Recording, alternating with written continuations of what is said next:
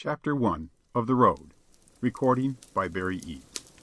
THE ROAD by Jack London CHAPTER I Confession There is a woman in the State of Nevada to whom I once lied continuously, consistently, and shamelessly, for the matter of a couple of hours.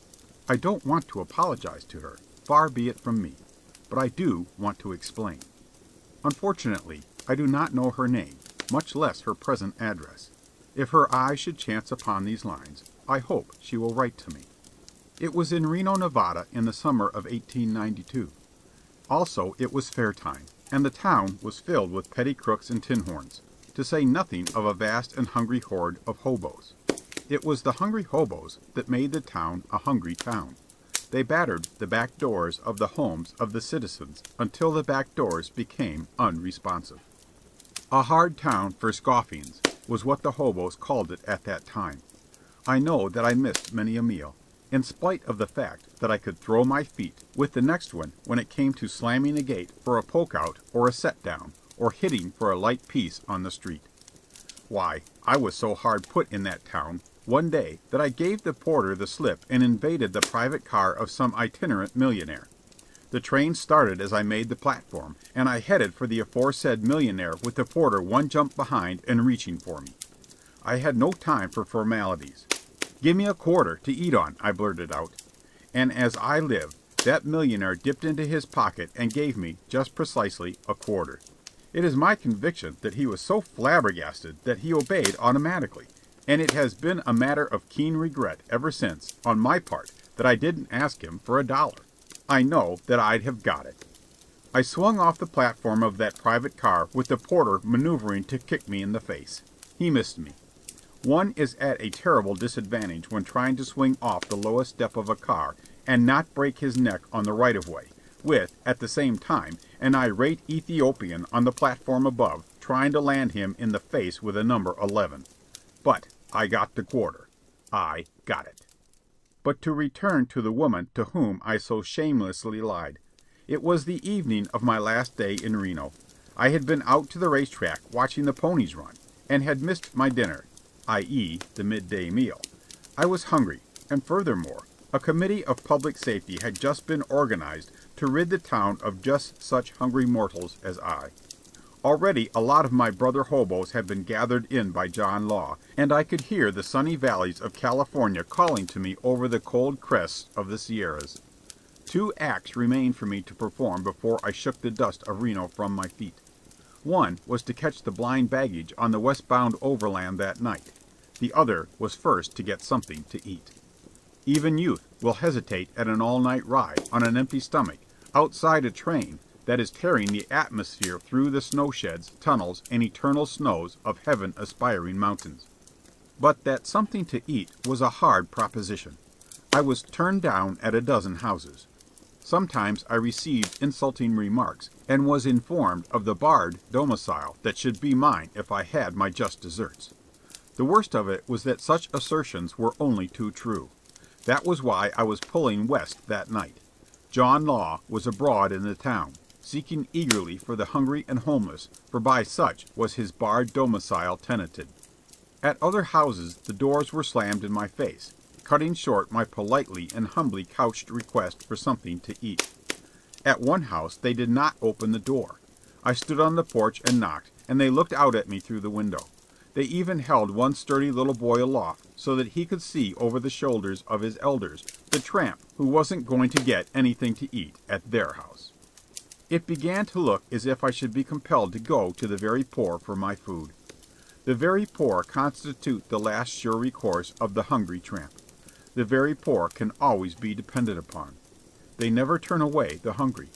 Time and again, all over the United States, have I been refused food by the big house on the hill, and always have I received food from the little shack down by the creek or marsh, with its broken windows stuffed with rags, and its tired faced mother broken with labor. Oh, you charity mongers! Go to the poor and learn, for the poor alone are the charitable. They neither give nor withhold from their excess. They have no excess. They give and they withhold never from what they need for themselves, and very often from what they cruelly need for themselves. A bone to the dog is not charity. Charity is the bone shared with the dog when you are just as hungry as the dog. There was one house in particular where I was turned down that evening. The porch windows opened on the dining room, and through them I saw a man eating pie a big meat pie. I stood in the open door, and while he talked with me he went on eating. He was prosperous, and out of his prosperity had been bred resentment against his less fortunate brothers. He cut short my request for something to eat, snapping out, "I don't believe you want to work." Now this was irrelevant. I hadn't said anything about work. The topic of conversation I had introduced was food. In fact, I didn't want to work. I wanted to take the westbound overland that night. "You wouldn't work if you had a chance," he bullied. I glanced at his meek faced wife, and knew that but for the presence of this Cerberus I'd have a whack at that meat pie myself. But Cerberus sopped himself in the pie, and I saw that I must placate him if I were to get a share of it. So I sighed to myself and accepted his work morality. "Of course I want to work," I bluffed. "Don't believe it," he snorted. "Try me," I answered, warming to the bluff. "All right," he said. Come to the corner of blank and blank streets. I have forgotten the address. Tomorrow morning. You know where that burned building is, and I'll put you to work tossing bricks." "All right, sir. I'll be there." He grunted and went on eating. I waited. After a couple of minutes he looked up with an I thought you were gone expression on his face and demanded, "Well?" "I I am waiting for something to eat," I said gently. "I knew you wouldn't work!" he roared. He was right, of course, but his conclusion must have been reached by mind reading, for his logic wouldn't bear it out. But the beggar at the door must be humble, so I accepted his logic as I had accepted his morality. "You see, I am now hungry," I said still gently. "To morrow morning I shall be hungrier. Think how hungry I shall be when I have tossed bricks all day without anything to eat. Now if you will give me something to eat, I'll be in great shape for those bricks." He gravely considered my plea at the same time going on eating, while his wife nearly trembled into propitiatory speech, but refrained. "I'll tell you what I'll do," he said, between mouthfuls. "You come to work to morrow, and in the middle of the day I'll advance you enough for your dinner. That will show whether you are in earnest or not." "In the meantime I began, but he interrupted. "If I gave you something to eat now, I'd never see you again. Oh, I know your kind. Look at me. I owe no man. I have never descended so low as to ask anyone for food. I have always earned my food. The trouble with you is that you are idle and dissolute. I can see it in your face. I have worked and been honest. I have made myself what I am. And you can do the same if you work and are honest." "Like you?" I queried. Alas, no ray of humor had ever penetrated the sombre, work sodden soul of that man. "Yes, like me," he answered. "All of us?" I queried. "Yes, all of you," he answered, conviction vibrating in his voice. "But if we all become like you," I said, "allow me to point out that there'd be nobody to toss bricks for you." I swear there was a flicker of a smile in his wife's eye. As for him, he was aghast but whether at the awful possibility of a reformed humanity that would not enable him to get anybody to toss bricks for him, or at my impudence, I shall never know. "I'll not waste words on you," he roared. "Get out of here, you ungrateful whelp!" I scraped my feet to advertise my intention of going, and queried, "And I don't get anything to eat?" He arose suddenly to his feet. He was a large man. I was a stranger in a strange land, and John Law was looking for me. I went away hurriedly. But why ungrateful? I asked myself as I slammed his gate. What in the dickens did he give me to be ungrateful about? I looked back. I could still see him through the window. He returned to his pie. By this time I had lost heart. I passed many houses, but without venturing up to them. All houses looked alike, and none looked good. After walking half a dozen blocks I shook off my despondency and gathered my nerve. This begging for food was all a game, and if I didn't like the cards I could always call for a new deal. I made up my mind to tackle the next house. I approached it in the deepening twilight, going around to the kitchen door. I knocked softly, and when I saw the kind face of the middle aged woman who answered, as by inspiration came to me the story I was to tell. For know that upon his ability to tell a good story depends the success of the beggar. First of all, and on the instant, the beggar must size up his victim. After that, he must tell a story that will appeal to the peculiar personality and temperament of that particular victim. And right here arises the great difficulty. In the instant that he is sizing up the victim, he must begin his story. Not a minute is allowed for preparation. As in a lightning flash, he must divine the nature of the victim and conceive a tale that will hit home. The successful hobo must be an artist. He must create spontaneously and instantaneously, and not upon a theme selected from the plenitude of his own imagination, but upon the theme he reads in the face of the person who opens the door, be it man, woman, or child, sweet or crabbed, generous or miserly, good natured or cantankerous, Jew or Gentile, black or white, race prejudiced or brotherly, provincial or universal, or whatever else it may be. I have often thought that to this training of my tramp days is due much of my success as a story writer. In order to get the food whereby I lived, I was compelled to tell tales that rang true. At the back door, out of inexorable necessity, is developed the convincingness and sincerity laid down by all authorities on the art of the short story. Also I quite believe it was my tramp apprenticeship that made a realist out of me.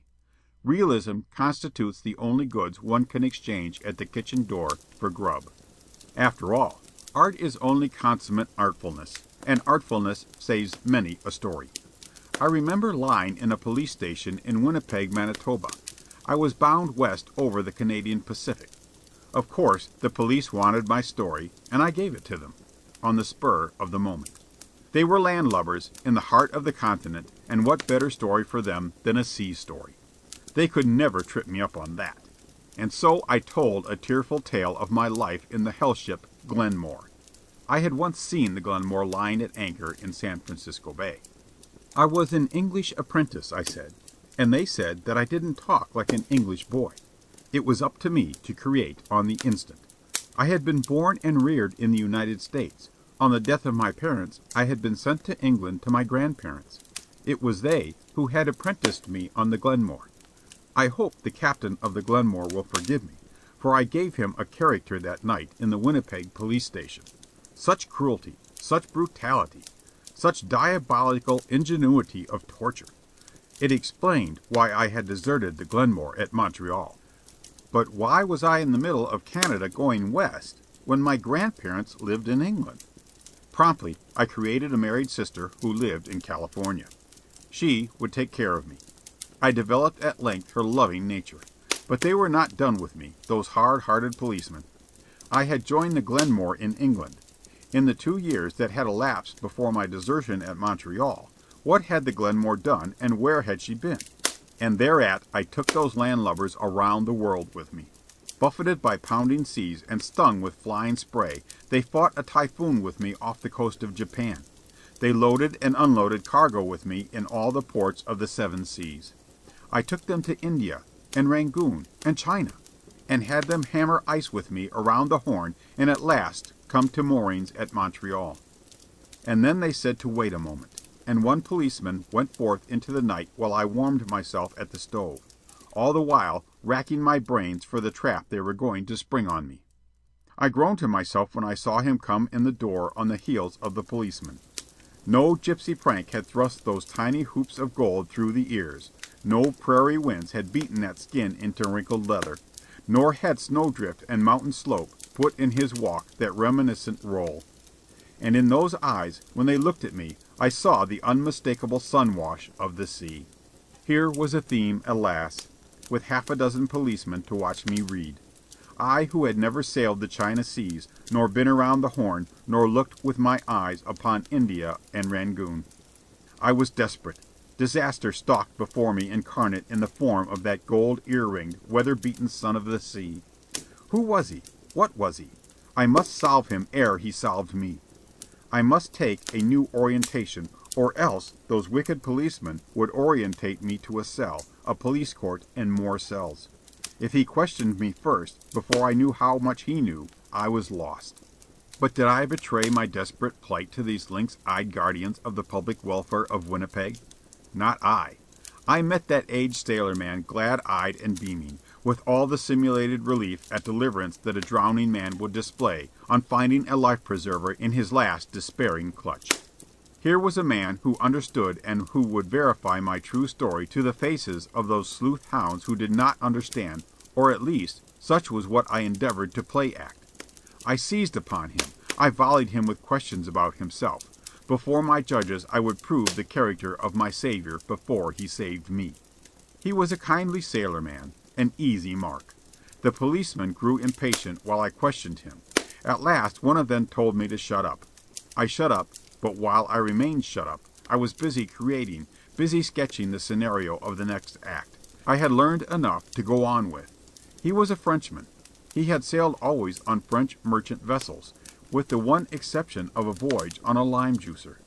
And last of all, blessed fact, he had not been on the sea for twenty years. The policeman urged him on to examine me. "You called in at Rangoon?" he queried. I nodded. We put our third mate ashore there. Fever. If he had asked me what kind of fever, I should have answered, enteric, though for the life of me I didn't know what enteric was. But he didn't ask me. Instead, his next question was, "And how was Rangoon?" "All right. It rained a whole lot when we were there." "Did you get shore leave?" "Sure," I answered. "Three of us apprentices went ashore together."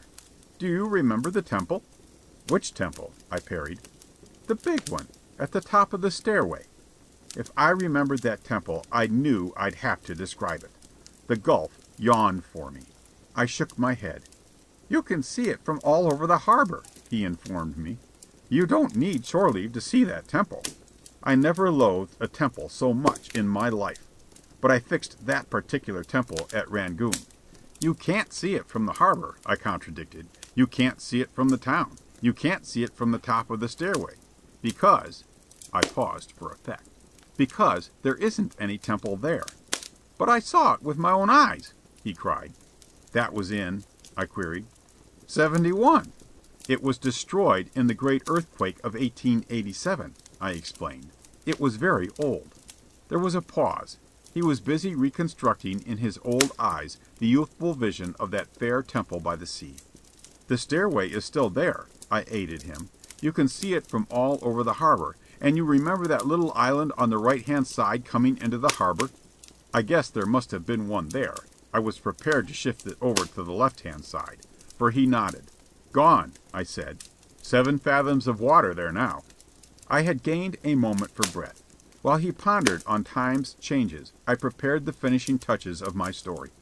"You remember the custom house at Bombay?" He remembered it. "Burned to the ground," I announced. "Do you remember Jim Wayne?" He came back at me. "Dead," I said. But who the devil Jim Wayne was I hadn't the slightest idea. I was on thin ice again. "Do you remember Billy Harper at Shanghai?" I queried back at him quickly. The aged sailorman worked hard to recollect, but the Billy Harper of my imagination was beyond his faded memory. "Of course you remember Billy Harper," I insisted. "Everybody knows him. He's been there forty years. Well, he's still there, that's all." And then the miracle happened. The sailorman remembered Billy Harper. Perhaps there was a Billy Harper, and perhaps he had been in Shanghai for forty years and was still there. But it was news to me. For fully half an hour longer the sailorman and I talked on in similar fashion. In the end he told the policeman that I was what I represented myself to be, and after a night's lodging and a breakfast I was released to wander on westward to my married sister in San Francisco.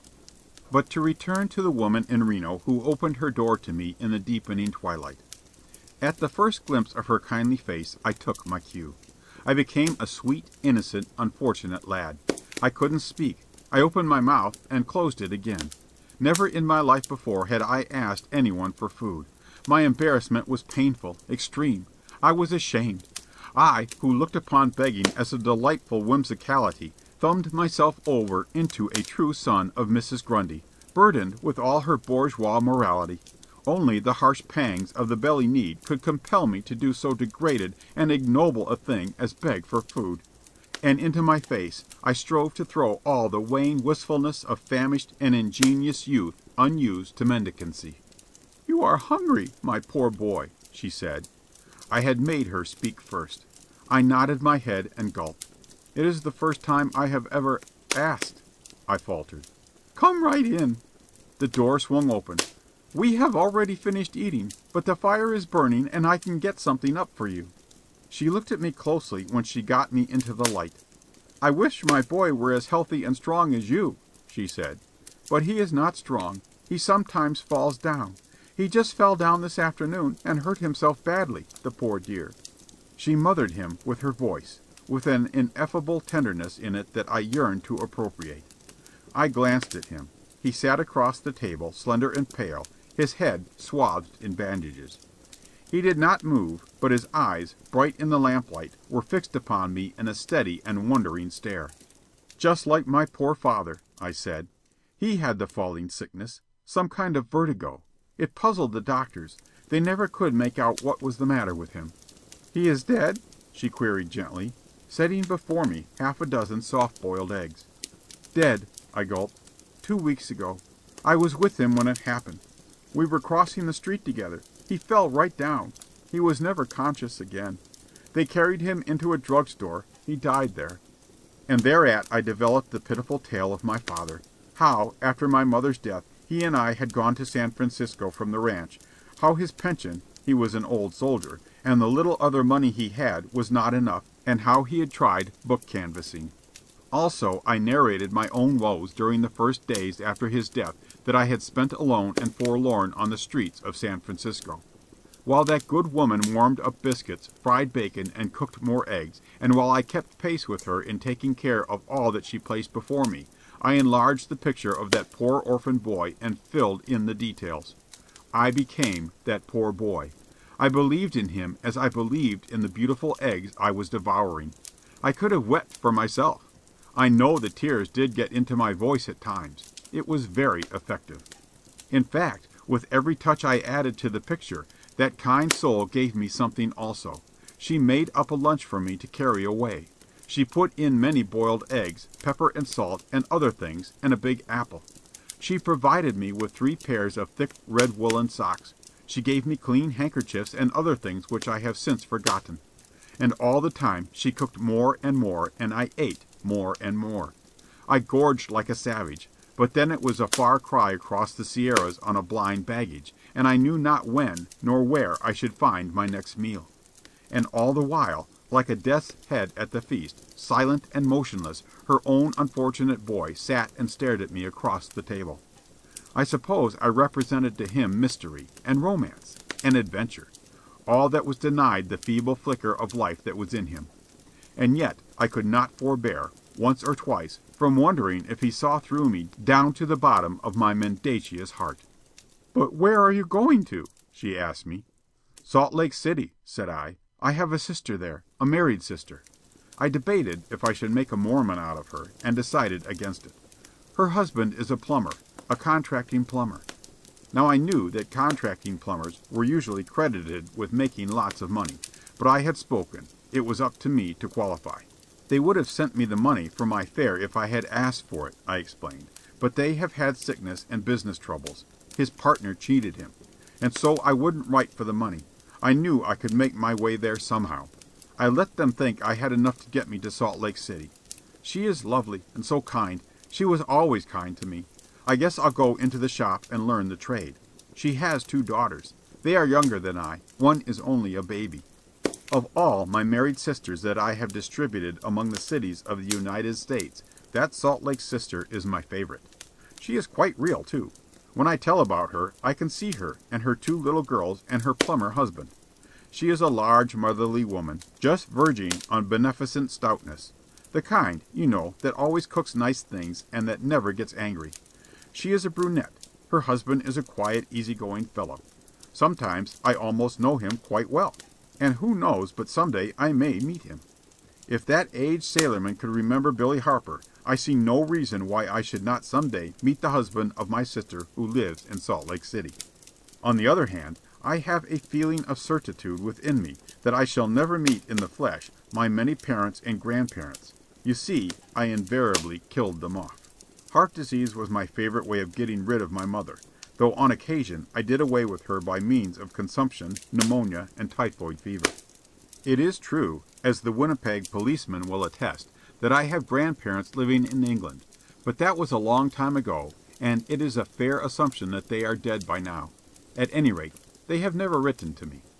I hope that woman in Reno will read these lines and forgive me my gracelessness and unveracity. I do not apologize, for I am unashamed. It was youth, delight in life, zest for experience, that brought me to her door. It did me good. It taught me the intrinsic kindliness of human nature. I hope it did her good. Anyway, she may get a good laugh out of it now that she learns the real inwardness of the situation. To her my story was true. She believed in me and all my family, and she was filled with solicitude for the dangerous journey I must make ere I won to Salt Lake City. This solicitude nearly brought me to grief. Just as I was leaving, my arms full of lunch and my pockets bulging with fat woolen socks, she bethought herself of a nephew, or uncle, or relative of some sort, who was in the railway mail service, and who, moreover, would come through that night on the very train on which I was going to steal my ride. The very thing. She would take me down to the depot, tell him my story, and get him to hide me in the mail car. Thus, without danger or hardship, I would be carried straight through to Ogden. Salt Lake City was only a few miles farther on. My heart sank. She grew excited as she developed the plan, and with my sinking heart I had to feign unbounded gladness and enthusiasm at this solution of my difficulties. Solution! Why, I was bound west that night, and here was I being trapped into going east. It was a trap, and I hadn't the heart to tell her that it was all a miserable lie. And while I made believe that I was delighted, I was busy cudgelling my brains for some way to escape. But there was no way. She would see me into the mail car. She said so herself, and then that mail clerk relative of hers would carry me to Ogden. And then I would have to beat my way back over those hundreds of miles of desert. But luck was with me that night. Just about the time she was getting ready to put on her bonnet and accompany me, she discovered that she had made a mistake. Her mail clerk relative was not scheduled to come through that night. His run had been changed. He would not come through until two nights afterward. I was saved, for of course my boundless youth would never permit me to wait those two days. I optimistically assured her that I'd get to Salt Lake City quicker if I started immediately, and I departed with her blessings and best wishes ringing in my ears. But those woolen socks were great. I know. I wore a pair of them that night on the blind baggage of the Overland, and that Overland went west. End of chapter 1. Chapter 2 of The Road by Jack London. Chapter 2 Holding Her Down.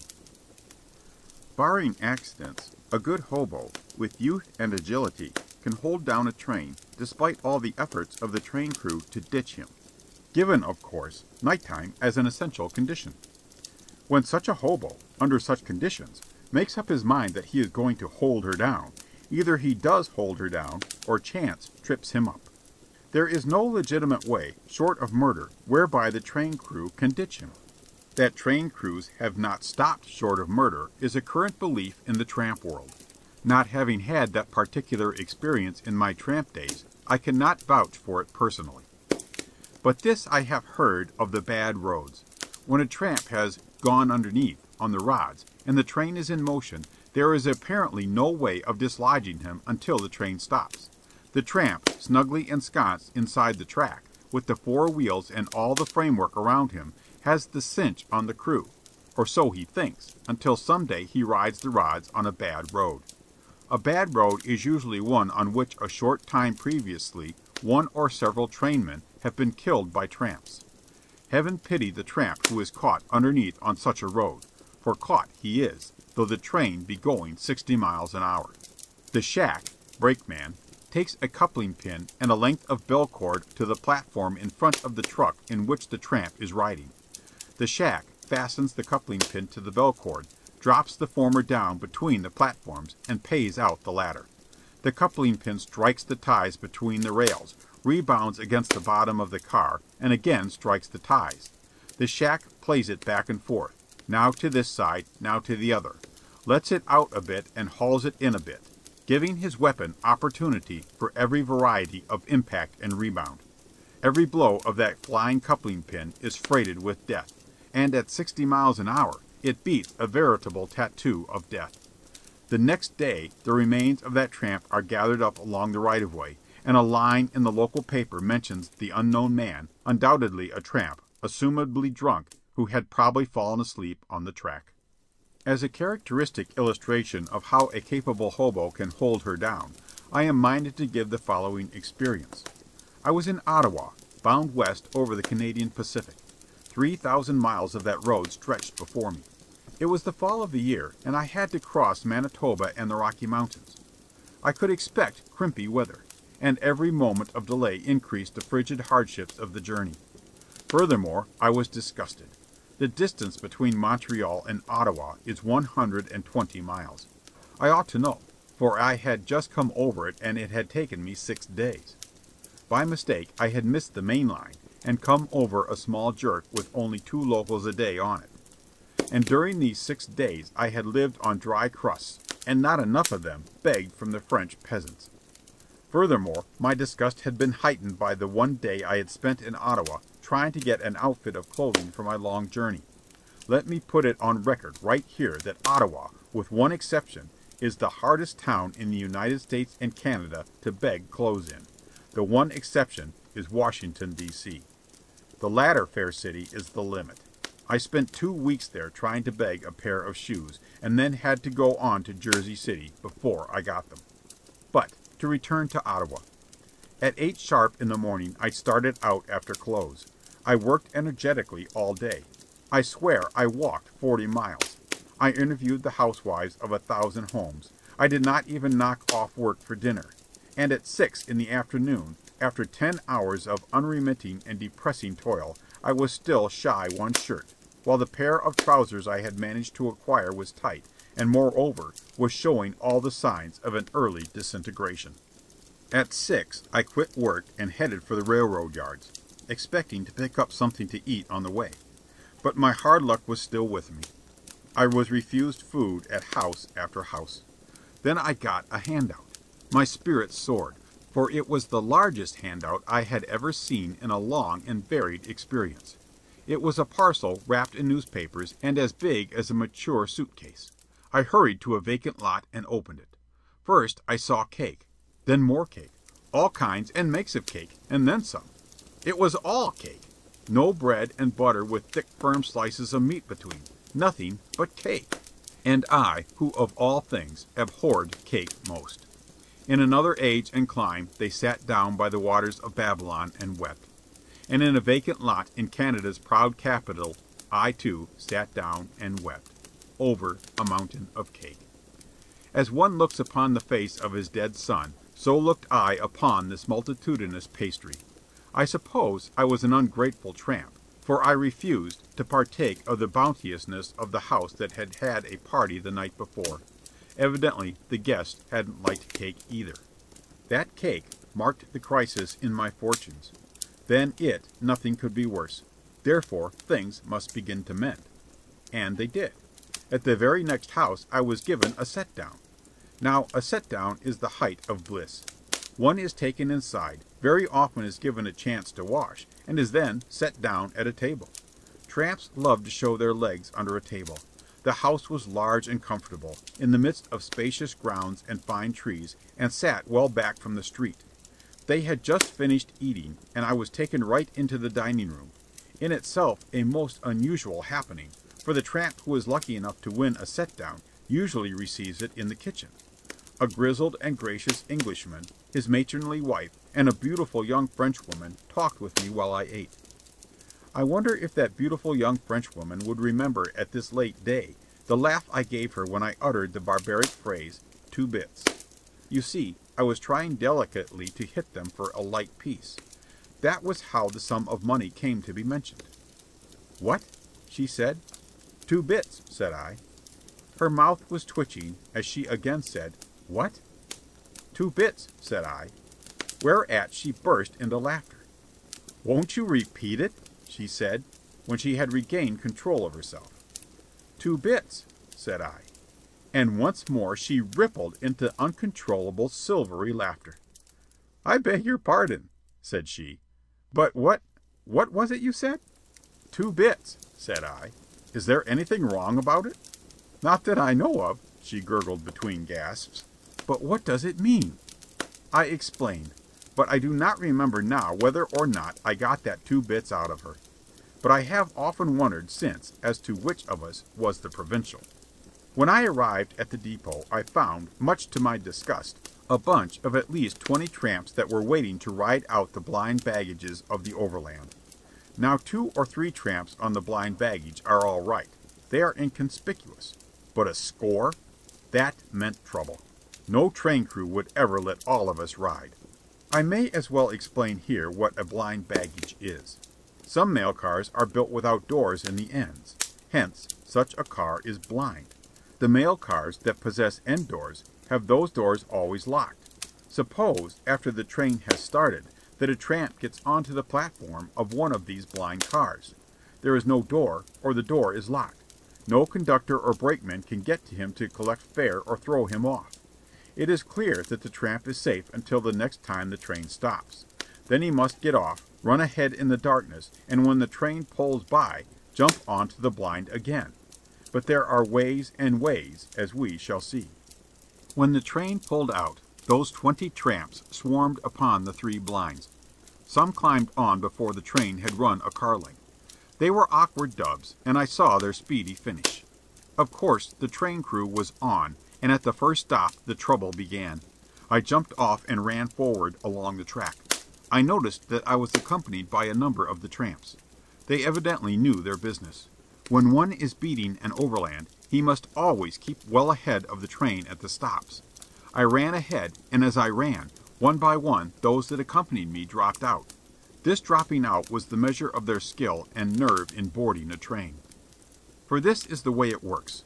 When the train starts, the shack rides out the blind. There is no way for him to get back into the train proper except by jumping off the blind and catching a platform where the car ends are not blind. When the train is going as fast as the shack cares to risk, he therefore jumps off the blind, lets several cars go by, and gets onto the train. So it is up to the tramp to run so far ahead that before the blind is opposite him the shack will have already vacated it. I dropped the last tramp by about fifty feet and waited. The train started. I saw the lantern of the shack on the first blind. He was riding her out. And I saw the dubs stand forlornly by the track as the blind went by. They made no attempt to get on. They were beaten by their own inefficiency at the very start. After them in the line-up came the tramps that knew a little something about the game. They let the first blind, occupied by the shack, go by, and jumped on the second and third blind. Of course the shack jumped off the first and on to the second as it went by, and scrambled around there, throwing off the men who had boarded it. But the point is that I was so far ahead that when the first blind came opposite me, the shack had already left it, and was tangled up with the tramps on the second blind. A half dozen of the more skilful tramps, who had run far enough ahead, made the first blind too. At the next stop, as we ran forward along the track, I counted but fifteen of us. Five had been ditched. The weeding out process had begun nobly, and it continued station by station. Now we were fourteen, now twelve, now eleven, now nine, now eight. It reminded me of the ten little niggers of the nursery rhyme. I was resolved that I should be the last little nigger of all. And why not? Was I not blessed with strength, agility, and youth? I was eighteen and in perfect condition. And didn't I have my nerve with me? And furthermore, was I not a tramp royal? Were not these other tramps mere dubs and gay cats and amateurs alongside of me? If I weren't the last little nigger, I might as well quit the game and get a job on an alfalfa farm somewhere. By the time our number had been reduced to four, the whole train crew had become interested. From then on it was a contest of skill and wits, with the odds in favor of the crew. One by one the three other survivors turned up missing, until I alone remained. My, but I was proud of myself. No Croesus was ever prouder of his first million. I was holding her down in spite of two brakemen, a conductor, a fireman, and an engineer. And here are a few samples of the way I held her down. Out ahead, in the darkness, so far ahead that the shack riding out the blind must perforce get off before it reaches me, I get on. Very well. I am good for another station. When that station is reached, I dart ahead again to repeat the maneuver. The train pulls out. I watch her coming. There is no light of a lantern on the blind. Has the crew abandoned the fight? I do not know. One never knows, and one must be prepared every moment for anything. As the first blind comes opposite me, and I run to leap aboard, I strain my eyes to see if the shack is on the platform. For all I know he may be there, with his lantern doused, and even as I spring upon the steps that lantern may smash down upon my head. I ought to know. I have been hit by lanterns two or three times. But no, the first blind is empty. The train is gathering speed. I am safe for another station. But am I? I feel the train slacken speed. On the instant I am alert. A maneuver is being executed against me, and I do not know what it is. I try to watch on both sides at once, not forgetting to keep track of the tender in front of me. From any one or all of these three directions I may be assailed. Ah, there it comes. The shack has ridden out the engine. My first warning is when his feet strike the steps of the right hand side of the blind. Like a flash I am off the blind to the left and running ahead past the engine. I lose myself in the darkness. The situation is where it has been ever since the train left Ottawa. I am ahead, and the train must come past me if it is to proceed on its journey. I have as good a chance as ever for boarding her. I watch carefully. I see a lantern come forward to the engine and I do not see it go back from the engine. It must therefore be still on the engine, and it is a fair assumption that attached to the handle of that lantern is a shack. That shack was lazy, or else he would have put out his lantern instead of trying to shield it as he came forward. The train pulls out. The first blind is empty, and I gain it. As before, the train slackens, the shack from the engine boards the blind from one side, and I go off the other side and run forward. As I wait in the darkness I am conscious of a big thrill of pride. The Overland has stopped twice for me. For me, a poor hobo on the bum. I alone have twice stopped the Overland with its many passengers and coaches, its government mail, and its two thousand steam horses straining in the engine. And I weigh only one hundred and sixty pounds, and I haven't a five cent piece in my pocket. Again I see the lantern come forward to the engine. But this time it comes conspicuously. A bit too conspicuously to suit me, and I wonder what is up. At any rate, I have something else to be afraid of than the shack on the engine. The train pulls by. Just in time, before I make my spring, I see the dark form of a shack, without a lantern, on the first blind. I let it go by and prepare to board the second blind. But the shack on the first blind has jumped off and is at my heels. Also I have a fleeting glimpse of the lantern of the shack who rode out the engine. He has jumped off, and now both shacks are on the ground on the same side with me. The next moment the second blind comes by and I am aboard it. But I do not linger. I have figured out my counter move. As I dash across the platform I hear the impact of the shack's feet against the steps as he boards. I jump off the other side and run forward with the train. My plan is to run forward and get on the first blind. It is nip and tuck, for the train is gathering speed. Also, the shack is behind me and running after me. I guess I am the better sprinter, for I make the first blind. I stand on the steps and watch my pursuer. He is only about ten feet back and running hard, but now the train has approximated his own speed, and relative to me he is standing still. I encourage him, hold out my hand to him, but he explodes in a mighty oath, gives up, and makes the train several cars back. The train is speeding along and I am still chuckling to myself, when, without warning, a spray of water strikes me. The fireman is playing the hose on me from the engine. I step forward from the car platform to the rear of the tender, where I am sheltered under the overhang. The water flies harmlessly over my head. My fingers itch to climb up on the tender and lam that fireman with a chunk of coal. But I know if I do that, I'll be massacred by him and the engineer, and I refrain. At the next stop I am off and ahead in the darkness. This time, when the train pulls out, both shacks are on the first blind. I divine their game. They have blocked the repetition of my previous play. I cannot again take the second blind, cross over, and run forward to the first. As soon as the first blind passes, and I do not get on, They swing off, one on each side of the train. I board the second blind, and as I do so I know that a moment later, simultaneously, those two shacks will arrive on both sides of me. It is like a trap. Both ways are blocked, yet there is another way out, and that way is up. So I do not wait for my pursuers to arrive. I climb upon the upright ironwork of the platform and stand upon the wheel of the hand brake. This has taken up the moment of grace, and I hear the shacks strike the steps on either side. I don't stop to look. I raise my arms overhead until my hands rest against the down curving ends of the roofs of the two cars. One hand, of course, is on the curved roof of one car, and the other hand on the curved roof of the other car. By this time both shacks are coming up the steps. I know it, though I am too busy to see them. All this is happening in the space of only several seconds. I make a spring with my legs and muscle myself up with my arms. As I draw up my legs, both shacks reach for me and clutch empty air. I know this, for I look down and see them.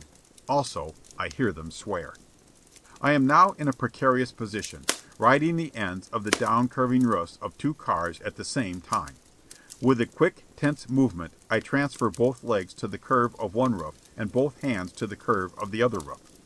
Then gripping the edge of that curving roof I climb over the curve to the level roof above, where I sit down to catch my breath, holding on the while to a ventilator that projects above the surface. I am on top of the train, on the decks, as the tramps call it, and this process I have described is by them called decking her. And let me say right here that only a young and vigorous tramp is able to deck a passenger train, and also that the young and vigorous tramp must have his nerve with him as well. The train goes on gathering speed, and I know I am safe until the next stop, but only until the next stop. If I remain on the roof after the train stops, I know those shacks will fusillade me with rocks. A healthy shack can dewdrop a pretty heavy chunk of stone on top of a car, say anywhere from five to twenty pounds. On the other hand, the chances are large that at the next stop the shacks will be waiting for me to descend at the place I climbed up. It is up to me to climb down at some other platform. Registering a fervent hope that there are no tunnels in the next half mile, I rise to my feet and walk down the train half a dozen cars. And let me say that one must leave timidity behind him on such a pasear. The roofs of passenger coaches are not made for midnight promenades, and if anyone thinks they are, let me advise him to try it. Just let him walk along the roof of a jolting, lurching car, with nothing to hold on to but the black and empty air, and when he comes to the down curving end of the roof, all wet and slippery with dew, let him accelerate his speed so as to step across to the next roof, down curving and wet and slippery. Believe me, he will learn whether his heart is weak or his head is giddy. As the train slows down for a stop, half a dozen platforms from where I had decked her, I come down. No one is on the platform. When the train comes to a standstill, I slip off to the ground. Ahead and between me and the engine are two moving lanterns. The shacks are looking for me on the roofs of the cars. I note that the car beside which I am standing is a four wheeler, by which is meant that it has only four wheels to each track. When you go underneath on the rods, be sure to avoid the six wheelers. They lead to disasters. I duck under the train and make for the rods and I can tell you I am mighty glad that the train is standing still. It is the first time I have ever gone underneath on the Canadian Pacific, and the internal arrangements are new to me. I try to crawl over the top of the truck, between the truck and the bottom of the car, but the space is not large enough for me to squeeze through. This is new to me. Down in the United States I am accustomed to going underneath on rapidly moving trains, seizing a gunwale and swinging my feet under to the brake beam and from there crawling over the top of the truck and down inside the truck to a seat on the cross rod. Feeling with my hands in the darkness, I learn that there is room between the brake drum and the ground. It is a tight squeeze. I have to lie flat and worm my way through. Once inside the truck, I take my seat on the rod and wonder what the shacks are thinking has become of me. The train gets under way. They have given me up at last. But have they? At the very next stop I see a lantern thrust under the next truck to mine at the other end of the car. They are searching the rods for me. I must make my getaway pretty lively. I crawl on my stomach under the brake beam. They see me and run for me. but I crawl on hands and knees across the rail on the opposite side and gain my feet. Then away I go for the head of the train. I run past the engine and hide in the sheltering darkness. It is the same old situation. I am ahead of the train, and the train must go past me. The train pulls out. There is a lantern on the first blind. I lie low, and see the peering shack go by. But there is also a lantern on the second blind. That shack spots me and calls to the shack who has just gone past on the first blind. Both jump off. Never mind, I'll take the third blind and deck her. But heavens, there is a lantern on the third blind, too. It is the conductor.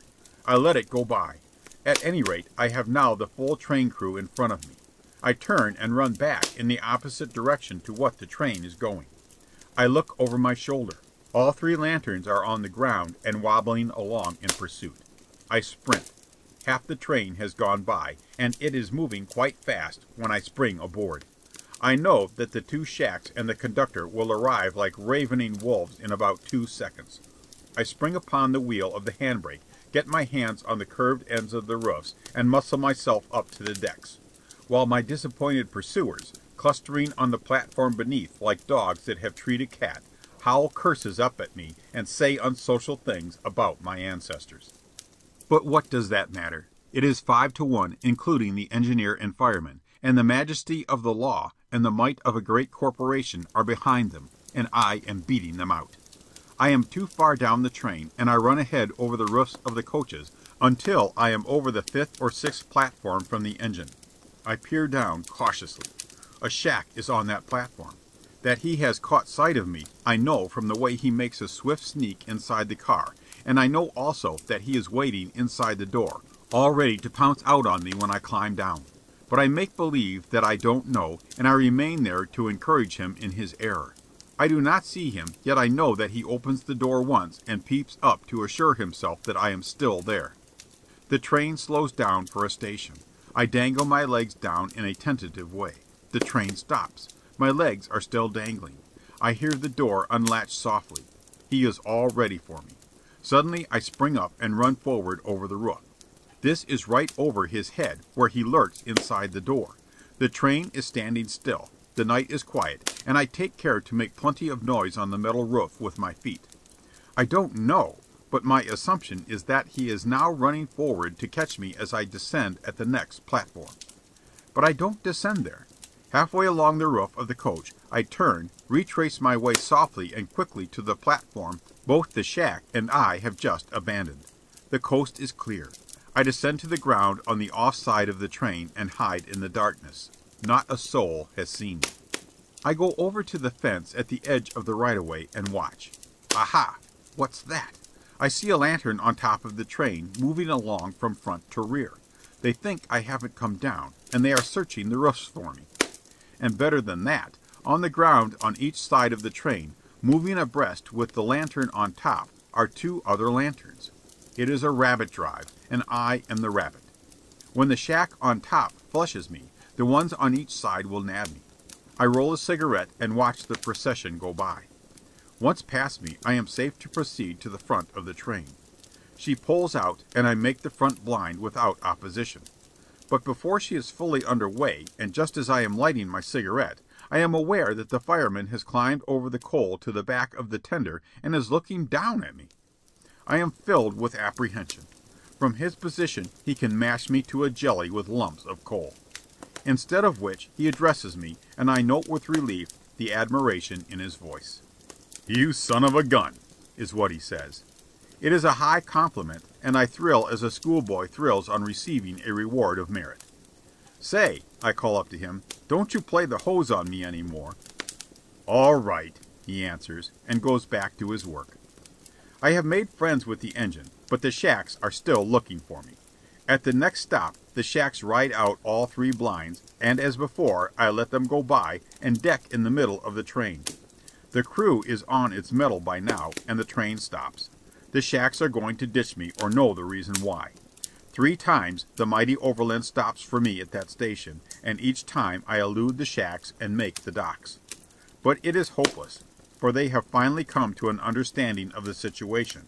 I have taught them that they cannot guard the train from me. They must do something else.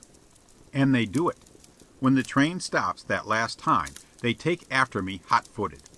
Ah, I see their game. They are trying to run me down. At first they herd me back toward the rear of the train. I know my peril. Once to the rear of the train, it will pull out with me left behind. I double and twist and turn, dodge through my pursuers, and gain the front of the train. One shack still hangs on after me. All right, I'll give him the run of his life, for my wind is good. I run straight ahead along the track. It doesn't matter. If he chases me ten miles, he'll nevertheless have to catch the train, and I can board her at any speed that he can.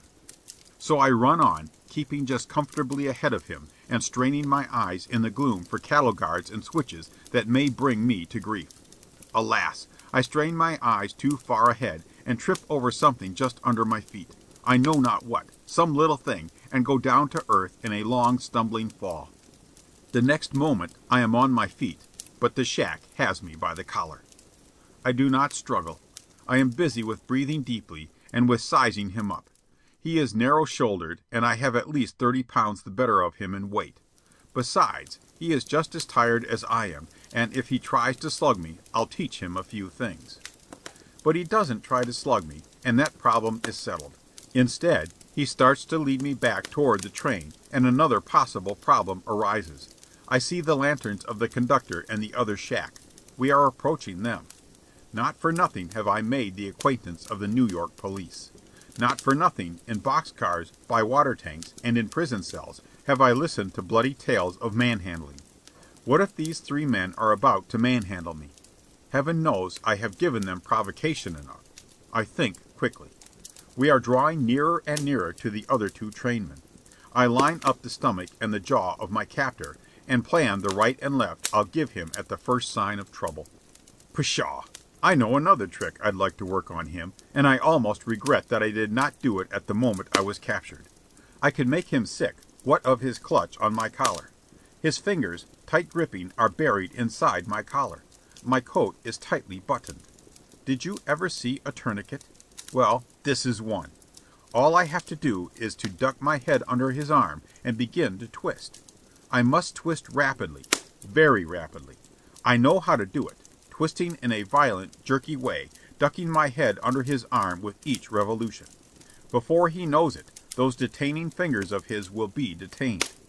He will be unable to withdraw them. It is a powerful leverage. Twenty seconds after I have started revolving, the blood will be bursting out of his finger ends, the delicate tendons will be rupturing, and all the muscles and nerves will be mashing and crushing together in a shrieking mass. Try it some time when somebody has you by the collar. But be quick, quick as lightning. Also, be sure to hug yourself while you are revolving. Hug your face with your left arm, and your abdomen with your right. You see, the other fellow might try to stop you with a punch from his free arm. It would be a good idea, too, to revolve away from that free arm rather than toward it. A punch going is never so bad as a punch coming. That shack will never know how near he was to being made very, very sick. All that saves him is that it is not in their plan to manhandle me. When we draw near enough, he calls out that he has me, and they signal the train to come on. The engine passes us, and the three blinds. After that the conductor and the other shack swing aboard. But still my captor holds on to me. I see the plan. He is going to hold me until the rear of the train goes by. Then he will hop on and I shall be left behind, ditched. But the train has pulled out fast, the engineer trying to make up for lost time. Also, it is a long train. It is going very lively, and I know the shack is measuring its speed with apprehension. Think you can make it? I query innocently. He releases my collar, makes a quick run, and swings aboard. A number of coaches are yet to pass by. He knows it, and remains on the steps, his head poked out and watching me. In that moment my next move comes to me. I'll make the last platform. I know she's going fast and faster, but I'll only get a roll in the dirt if I fail, and the optimism of youth is mine. I do not give myself away. I stand with a dejected droop of shoulder, advertising that I have abandoned hope. But at the same time I am feeling with my feet the good gravel. It is perfect footing. Also I am watching the poked out head of the shack. I see it withdrawn. He is confident that the train is going too fast for me ever to make it. And the train is going fast. Faster than any train I have ever tackled. As the last coach comes by I sprint in the same direction with it. It is a swift, short sprint. I cannot hope to equal the speed of the train, but I can reduce the difference of our speed to the minimum, and hence reduce the shock of impact when I leap on board. In the fleeting instant of darkness I do not see the iron handrail of the last platform, nor is there time for me to locate it. I reach for where I think it ought to be, and at the same instant my feet leave the ground. It is all in the toss. The next moment I may be rolling in the gravel with broken ribs, or arms, or head. But my fingers grip the handhold, there is a jerk on my arms that slightly pivots my body, and my feet land on the steps with sharp violence. I sit down, feeling proud of myself. In all my hoboing it is the best bit of train jumping I have done. I know that late at night one is always good for several stations on the last platform. But I do not care to trust myself at the rear of the train. At the first stop I run forward on the off side of the train, past the Pullmans, and duck under and take a rod under a day coach. At the next stop I run forward again and take another rod. I am now comparatively safe. The shacks think I am ditched. But the long day and the strenuous night are beginning to tell on me. Also it is not so windy nor cold underneath, and I begin to doze. This will never do. Sleep on the rods spells death. So I crawl out at a station and go forward to the second blind. Here I can lie down and sleep, and here I do sleep. How long I do not know, for I am awakened by a lantern thrust into my face. The two shacks are staring at me. I scramble up on the defensive, wondering as to which one is going to make the first pass at me. But slugging is far from their minds. "I thought you was ditched," says the shack who had held me by the collar. "If you hadn't let go of me when you did, you'd have been ditched along with me," I answer. "How's that?" he asks. "I'd have gone into a clinch with you, that's all," is my reply. They hold a consultation, and their verdict is summed up in, "Well, I guess you can ride, Bo. There's no use trying to keep you off." And they go away and leave me in peace to the end of their division. I have given the foregoing as a sample of what "holding her down" means. Of course I have selected a fortunate night out of my experiences, and said nothing of the nights, and many of them, when I was tripped up by accident and ditched. In conclusion, I want to tell of what happened when I reached the end of the division. On single track, transcontinental lines, the freight trains wait at the divisions and follow out after the passenger trains. When the division was reached, I left my train and looked for the freight that would pull out behind it. I found the freight, made up on a side track and waiting. I climbed into a box car half full of coal and lay down. In no time I was asleep. I was awakened by the sliding open of the door. Day was just dawning, cold and gray, and the freight had not yet started. A con (conductor) was poking his head inside the door. "Get out of that, you blankety blank blank!" he roared at me. I got and outside I watched him go down the line inspecting every car in the train. When he got out of sight I thought to myself that he would never think I'd have the nerve to climb back into the very car out of which he had fired me. So back I climbed and laid down again. Now that con's mental processes must have been paralleling mine, for he reasoned that it was the very thing I would do. For back he came and fired me out. Now surely, I reasoned, he will never dream that I'd do it a third time. Back I went into the very same car. But I decided to make sure. Only one side door could be opened. The other side door was nailed up. Beginning at the top of the coal, I dug a hole alongside of that door and lay down in it. I heard the other door open. The con climbed up and looked in over the top of the coal. He couldn't see me. He called to me to get out. I tried to fool him by remaining quiet. But when he began tossing chunks of coal into the hole on top of me, I gave up and for the third time was fired out. Also, he informed me in warm terms of what would happen to me if he caught me in there again. I changed my tactics. When a man is paralleling your mental processes, ditch him. Abruptly break off your line of reasoning and go off on a new line. This I did. I hid between some cars on an adjacent sidetrack and watched. Sure enough, that con came back again to the car. He opened the door, he climbed up, he called, he threw coal into the hole I had made. He even crawled over the coal and looked into the hole. That satisfied him. Five minutes later, the freight was pulling out, and he was not in sight. I ran alongside the car, pulled the door open, and climbed in. He never looked for me again, and I rode that coal car precisely one thousand and twenty two miles, sleeping most of the time and getting out at divisions, where the freights always stopped for an hour or so, to beg my food. And at the end of the thousand and twenty two miles I lost that car through a happy incident. I got a set down, and the tramp doesn't live who won't miss a train for a set down any time. End of chapter 2. Chapter 3 of The Road by Jack London. Chapter 3 Pictures. What do it matter where or how we die, so long as we've our elf to watch it all? Sestina of the Tramp Royal. Perhaps the greatest charm of tramp life is the absence of monotony. In hoboland the face of life is Protean, an ever changing phantasmagoria, where the impossible happens and the unexpected jumps out of the bushes at every turn of the road. The hobo never knows what is going to happen the next moment. Hence he lives only in the present moment. He has learned the futility of telic endeavor, and knows the delight of drifting along with the whimsicalities of chance.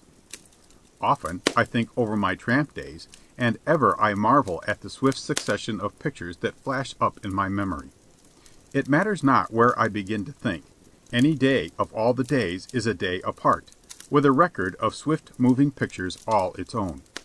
For instance, I remember a sunny summer morning in Harrisburg, Pennsylvania, and immediately comes to my mind the auspicious beginning of the day. A set down with two maiden ladies, and not in their kitchen, but in their dining room, with them beside me at the table. We ate eggs out of egg cups. It was the first time I had ever seen egg cups, or heard of egg cups. I was a bit awkward at first, I'll confess, but I was hungry and unabashed. I mastered the egg cup, and I mastered the eggs in a way that made those two maiden ladies sit up. Why, they ate like a couple of canaries, dabbling with the one egg each they took, and nibbling at tiny wafers of toast. Life was low in their bodies, their blood ran thin, and they had slept warm all night. I had been out all night, consuming much fuel of my body to keep warm, beating my way down from a place called Emporium in the northern part of the state. Wafers of toast, out of sight, but each wafer was no more than a mouthful to me, nay, no more than a bite. It is tedious to have to reach for another piece of toast each bite when one is potential with many bites. When I was a very little lad I had a very little dog called Punch. I saw to his feeding myself. Some one in the household had shot a lot of ducks, and we had a fine meat dinner. When I had finished, I prepared Punch's dinner, a large plateful of bones and tidbits. I went outside to give it to him. Now it happened that a visitor had ridden over from a neighboring ranch, and with him had come a Newfoundland dog as big as a calf. I set the plate on the ground. Punch wagged his tail and began. He had before him a blissful half hour at least. There was a sudden rush. Punch was brushed aside like a straw in the path of a cyclone, and that Newfoundland swooped down upon the plate. In spite of his huge maw, he must have been trained to quick lunches, for in the fleeting instant before he received the kick in the ribs I aimed at him, he completely engulfed the contents of the plate. He swept it clean. One last lingering lick of his tongue removed even the grease stains. As that big Newfoundland behaved at the plate of my dog Punch, so behaved I at the table of those two maiden ladies of Harrisburg. I swept it bare. I didn't break anything, but I cleaned out the egg and the toast and the coffee. The servant brought more, but I kept her busy, and ever she brought more and more. The coffee was delicious, but it needn't have been served in such tiny cups. What time had I to eat when it took all my time to prepare the many cups of coffee for drinking? At any rate, it gave my tongue time to wag. Those two maiden ladies, with their pink and white complexions and gray curls, had never looked upon the bright face of adventure. As the tramp royal would have it, they had worked all their lives on one same shift. Into the sweet scents and narrow confines of their uneventful existence I brought the large airs of the world, freighted with the lusty smells of sweat and strife, and with the tangs and odors of strange lands and soils. and right well I scratched their soft palms with the callus of my own palms, the half inch horn that comes of pull and haul of rope and long and arduous hours of caressing shovel handles. This I did, not merely in the braggadocio of youth, but to prove, by toil performed, the claim I had upon their charity. Ah, I can see them now, those dear, sweet ladies, just as I sat at their breakfast table twelve years ago, discoursing upon the way of my feet in the world, brushing aside their kindly counsel as a real devilish fellow should, and thrilling them, not alone with my own adventures, but with the adventures of all the other fellows with whom I had rubbed shoulders and exchanged confidences. I appropriated them all, the adventures of the other fellows, I mean. And if those maiden ladies had been less trustful and guileless, they could have tangled me up beautifully in my chronology. Well, well, and what of it? It was fair exchange. For their many cups of coffee and eggs and bites of toast I gave full value. Right royally I gave them entertainment. My coming to sit at their table was their adventure, and adventure is beyond price anyway. Coming along the street, after parting from the maiden ladies, I gathered in a newspaper from the doorway of some late riser, and in a grassy park lay down to get in touch with the last twenty four hours of the world. There, in the park, I met a fellow hobo who told me his life story and who wrestled with me to join the United States Army. He had given in to the recruiting officer and was just about to join, and he couldn't see why I shouldn't join with him. He had been a member of Coxey's army in the march to Washington several months before, and that seemed to have given him a taste for army life. I, too, was a veteran, for had I not been a private in Company L of the Second Division of Kelly's Industrial Army? Said Company L being commonly known as the Nevada Push. But my army experience had had the opposite effect on me, so I left that hobo to go his way to the dogs of war, while I threw my feet for dinner. This duty performed, I started to walk across the bridge over the Susquehanna to the west shore. I forget the name of the railroad that ran down that side, but while lying in the grass in the morning the idea had come to me to go to Baltimore. So to Baltimore I was going on that railroad, whatever its name was. It was a warm afternoon, and part way across the bridge I came to a lot of fellows who were in swimming off one of the piers. Off went my clothes, and in went I. The water was fine, but when I came out and dressed I found I had been robbed. Someone had gone through my clothes. Now I leave it to you if being robbed isn't in itself adventure enough for one day. I have known men who have been robbed and who have talked all the rest of their lives about it. True, the thief that went through my clothes didn't get much some thirty or forty cents in nickels and pennies, and my tobacco and cigarette papers, but it was all I had, which is more than most men can be robbed of for they have something left at home, while I had no home. It was a pretty tough gang in swimming there. I sized up, and knew better than to squeal. So I begged the makings, and I could have sworn it was one of my own papers I rolled the tobacco in. Then on across the bridge I hiked to the west shore. Here ran the railroad I was after. No station was in sight. How to catch a freight without walking to a station was the problem. I noticed that the track came up a steep grade, culminating at the point where I had tapped it, and I knew that a heavy freight couldn't pull up there any too lively. But how lively? On the opposite side of the track rose a high bank. On the edge, at the top, I saw a man's head sticking up from the grass. Perhaps he knew how fast the freights took the grade, and when the next one went south. I called out my questions to him and he motioned to me to come up. I obeyed, and when I reached the top I found four other men lying in the grass with him. I took in the scene and knew them for what they were American gypsies. In the open space that extended back among the trees from the edge of the bank were several nondescript wagons. Ragged, half naked children swarmed over the camp, though I noticed that they took care not to come near and bother the menfolk. Several lean, unbeautiful, and toil degraded women were pottering about with camp chores, and one I noticed who sat by herself on the seat of one of the wagons, her head drooped forward, her knees drawn up to her chin, and clasped limply by her arms. She did not look happy. She looked as if she did not care for anything. In this I was wrong, for later I was to learn that there was something for which she did care. The full measure of human suffering was in her face, and in addition there was the tragic expression of incapacity for further suffering. Nothing could hurt any more, was what her face seemed to portray. But in this, too, I was wrong. I lay in the grass on the edge of the steep and talked with the menfolk. We were kin, brothers. I was the American hobo, and they were the American gypsy. I knew enough of their argot for conversation, and they knew enough of mine. There were two more in their gang, who were across the river mushing in Harrisburg. A musher is an itinerant fakir. This word is not to be confounded with the Klondike musher, though the origin of both terms may be the same, namely, the corruption of the French marchons, to march, to walk, to mush. The particular graft of the two mushers who had crossed the river was umbrella mending, but what real graft lay behind their umbrella mending I was not told, nor would it have been polite to ask. It was a glorious day. Not a breath of wind was stirring, and we basked in the shimmering warmth of the sun. From everywhere arose the drowsy hum of insects, and the balmy air was filled with scents of the sweet earth and the green growing things. We were too lazy to do more than mumble on in intermittent conversation. And then, all abruptly, the peace and quietude was jarred awry by man. Two bare-legged boys of eight or nine in some minor way broke some rule of the camp. What it was I did not know, and a man who lay beside me suddenly sat up and called to them. He was chief of the tribe, a man with narrow forehead and narrow slitted eyes, whose thin lips and twisted sardonic features explained why the two boys jumped and tensed like startled deer at the sound of his voice.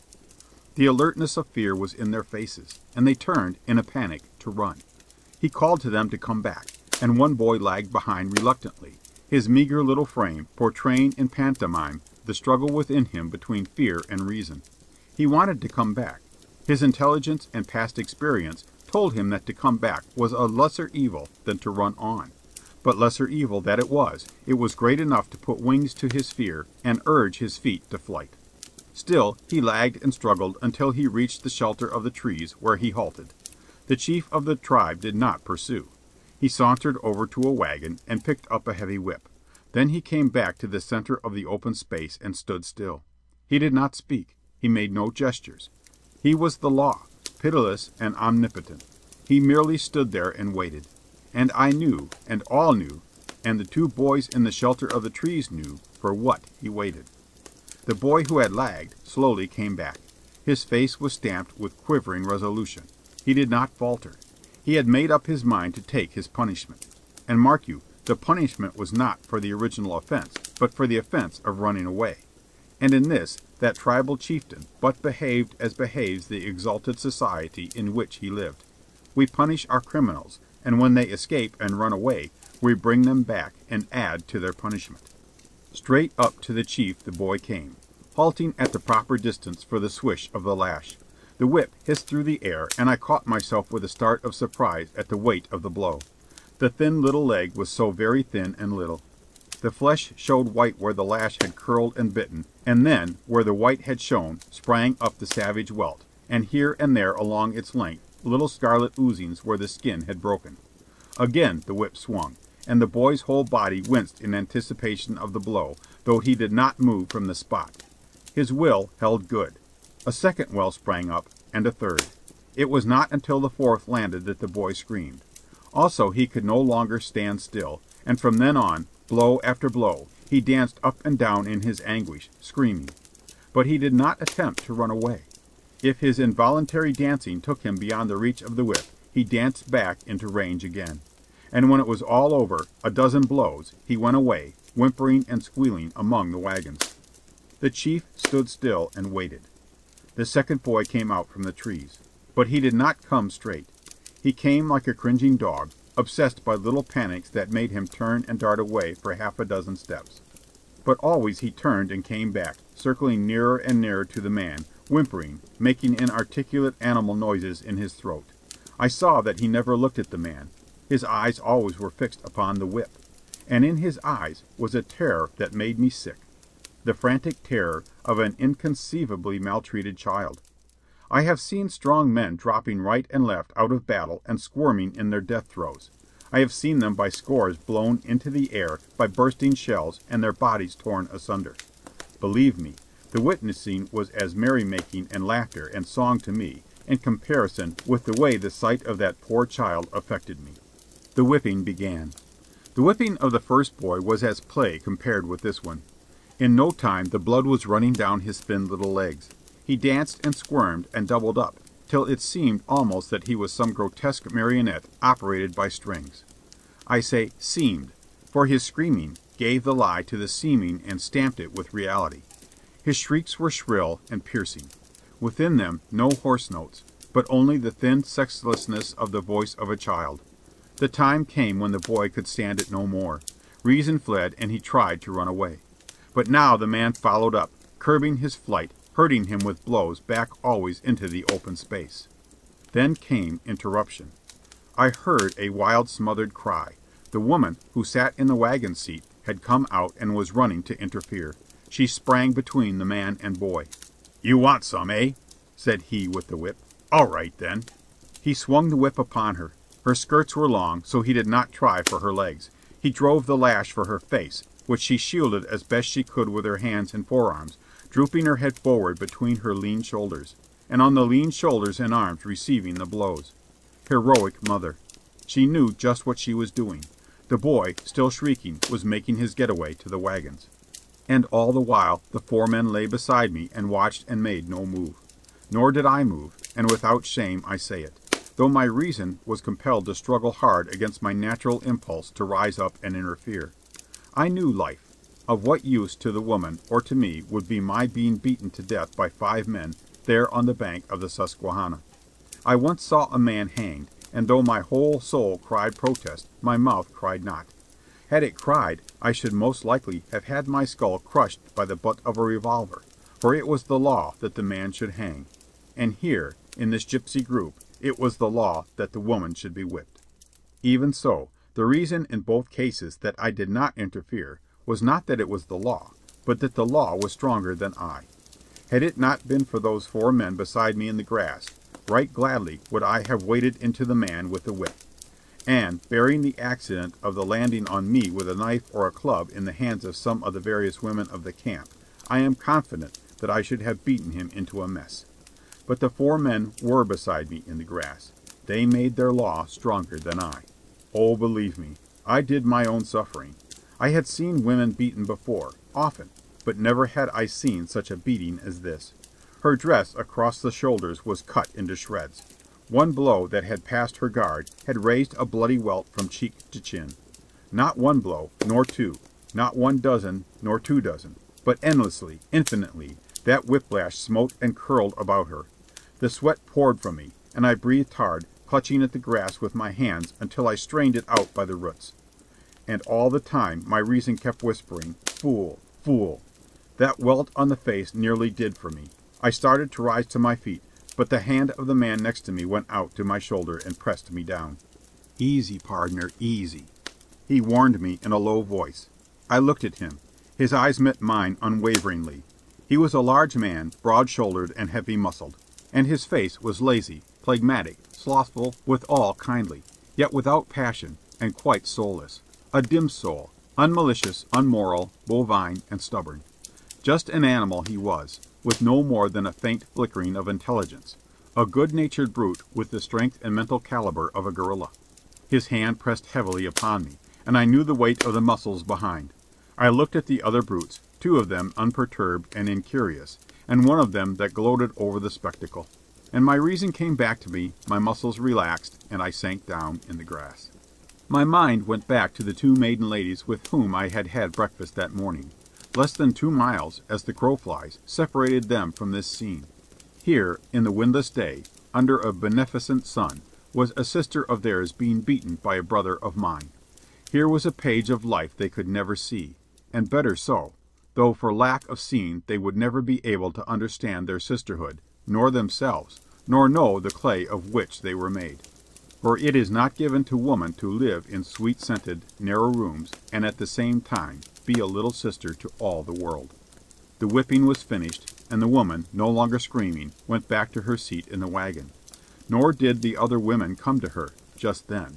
They were afraid, but they came afterward, when a decent interval had elapsed. The man put the whip away and rejoined us, flinging himself down on the other side of me. He was breathing hard from his exertions.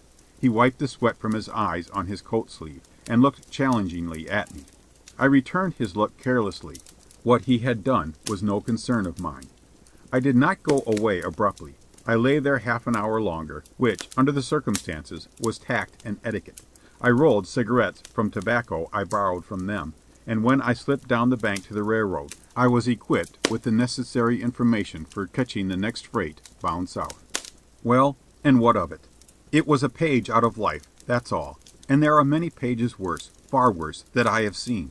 I have sometimes held forth, facetiously, so my listeners believe, that the chief distinguishing trait between man and the other animals is that man is the only animal that maltreats the females of his kind.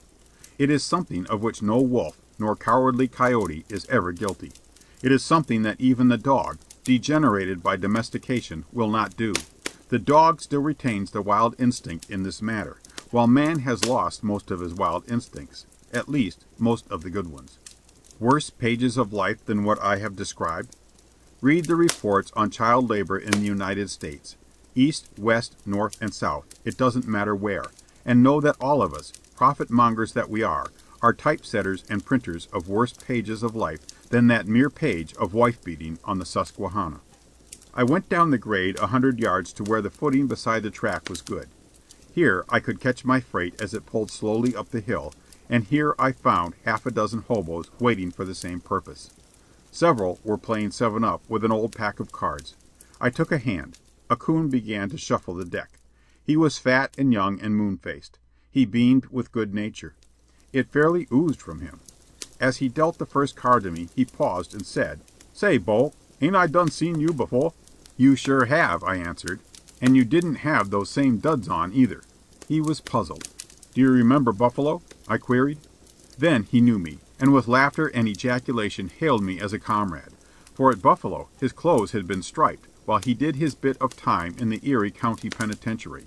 For that matter, my clothes had been likewise striped for I had been doing my bit of time too. The game proceeded, and I learned the stake for which we played. Down the bank, toward the river, descended a steep and narrow path that led to a spring some twenty five feet beneath. We played on the edge of the bank. The man who was stuck had to take a small condensed milk can, and with it carry water to the winners. The first game was played, and the coon was stuck. He took the small milk tin and climbed down the bank, while we sat above and guyed him. We drank like fish. Four round trips he had to make for me alone, and the others were equally lavish with their thirst. The path was very steep, and sometimes the coon slipped when part way up, spilled the water, and had to go back for more. But he didn't get angry. He laughed as heartily as any of us. That was why he slipped so often.